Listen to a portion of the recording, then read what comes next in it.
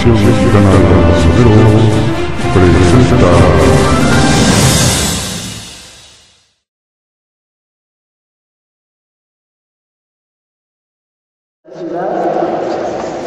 Este, ¿Quiénes conocen ya el Museo de la Ciudad anteriormente? ¿Quién lo, quién lo?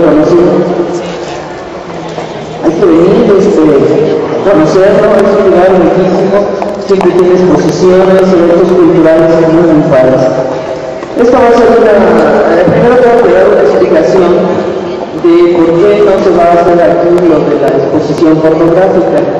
No tienen espacio, no tuvieron espacio, según la exposición se hizo allí en el Salón Colonia. No era una este, exposición muy importante, pero sí este, una exposición de personajes que va a estar ahora, va a decir una amiga en, en donde la pueden ver, va a estar este, como 15 días, ¿cuántos? Va a estar expuesta en el Metro La Rosa, en las vitrinas del Metro La Rosa, había verla y a ver si se reconoce porque están ahí personajes de la ciudadela y de diferentes salones, entonces pueden verla ahí. En cuanto al evento del día de hoy, vamos a hacerlo de una manera muy coloquial, muy entre amigos. Había invitado, porque soy muy este, entusiasta, muy ilusa, a grandes personalidades que desgraciadamente sus propias actividades no les permitieron estar, por eso ya segunda, la segunda versión decía que iba a ser personalidades importantes relacionadas con el danzón. Y bueno, creo que les estoy, les voy a presentar aquí a la gente más, que tiene mayor conocimiento, que ha estado mayor tiempo relacionada con el danzón. Y para no estar aquí todos y como darlos este, como soldaditos, voy a presentarlos, le voy a pedir que se pongan de pie y después van a pasar a hablar, el tema de esta mesa va a ser mi encuentro con el danzón.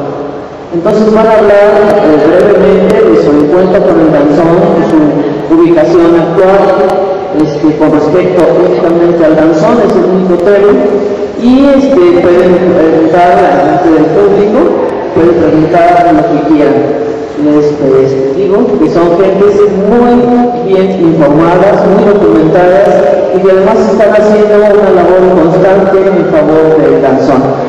Voy a empezar por el señor Simón Jara.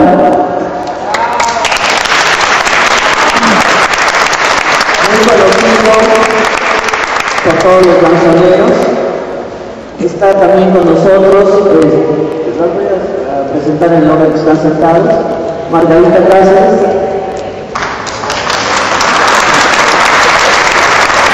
Bailarina, pareja del maestro Corrales, esposa maestro Corrales, que este, también nos va a platicar acerca de su contacto, de su primer contacto con el danzón, porque no todos los que bailan conocen el danzón. Entonces es muy importante. Está aquí Luis Pérez Simpson, es su apodo. una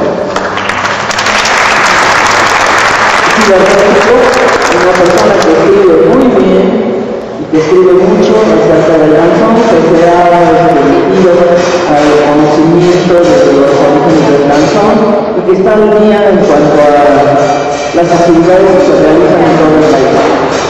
El maestro sumo es una institución entre los danzoneros, campeón, muy conocido y amante del, del está el maestro Corrales, el maestro Corrales es un extraordinario músico cubano, considerado de los 10 mejores bautistas del mundo, y que por esta ocasión no fue posible traer a su charanga ni ninguna otra era mi deseo, porque pues, la crisis económica está muy grave, eh, no solamente aquí, sino en Cuba y en Europa.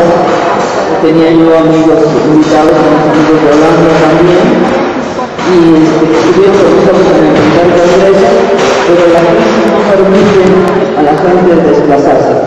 Entonces el maestro, además vamos a tener el gusto de que nos interprete este, con su flauta algún danzón, algunos danzones, los que ya lo conocen sabemos de la, del virtuosismo del maestro para este instrumento.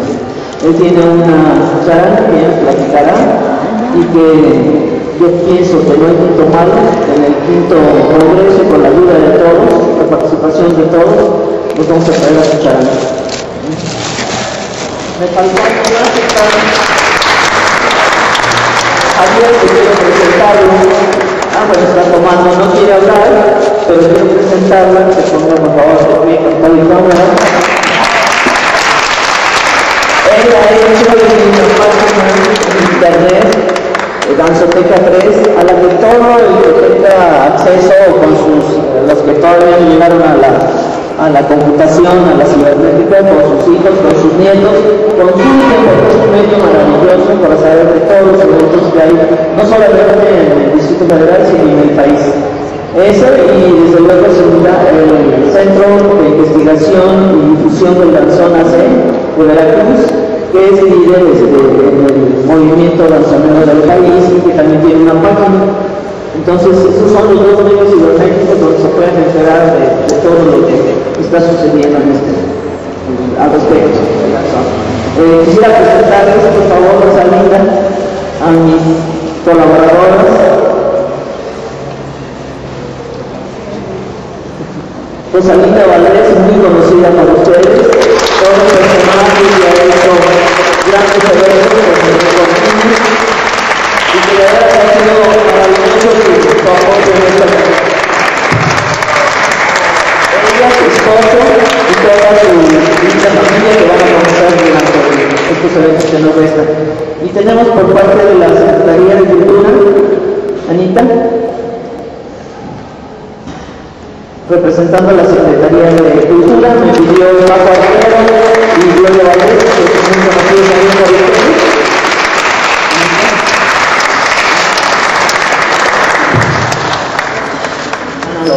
Entonces estamos por, listos para iniciar esta plática.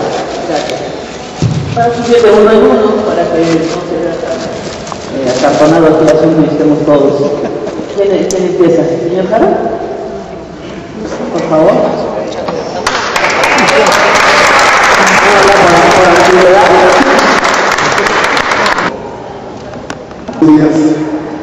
Yo no sé qué hablar, pero eh, está diciendo mi queridísimo amigo Simón Jara comienza. Eh, Nina me dice que, digo, ¿de qué vamos a hablar?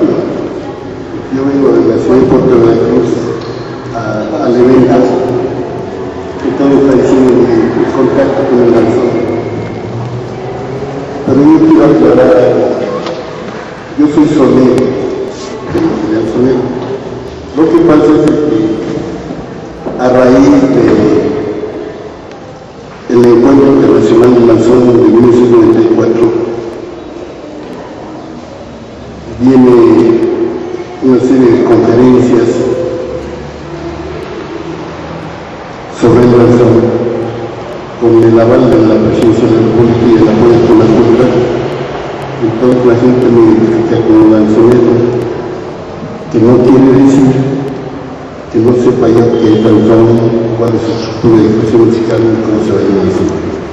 Entonces, por cada conferencia que yo daba en origen en el cubano, empezamos a dar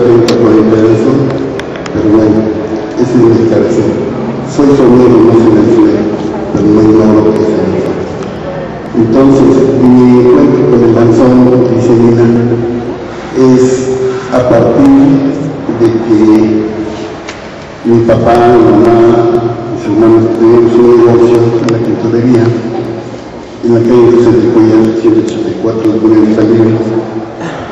Y ahí llegaba un cliente que se llamaba Fernando, que era patrullero, y su esposa Allá la conocen como Catalina, pero los amigos de Valle la conocen como Rosita, Fernando Rosita.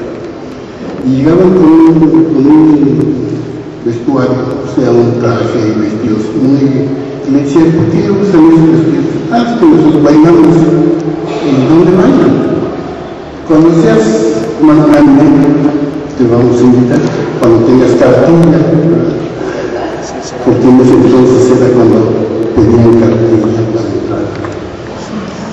Así es que un día yo tuve la fortuna de tener mi cartilla cursaba en la secundaria 14, aquí en Río se, se implantó el curso, bueno, el servicio militar de naciones en las secundarias. A los 16 de 1958 yo tuve mi campeón. Entonces así, yo ya tengo mi campeón y ese día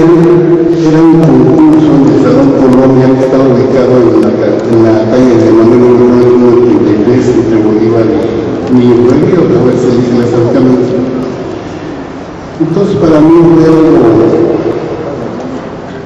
impresionante entrar a un salón abarrotado, enorme, eh, abarrotado de gente, y de repente en la pista empezó a subir. Y yo dije, ¿qué onda, no? Era un, un elevador o una maquinaria que tenía ese salón. Yo me hubiera entrado, ¿no?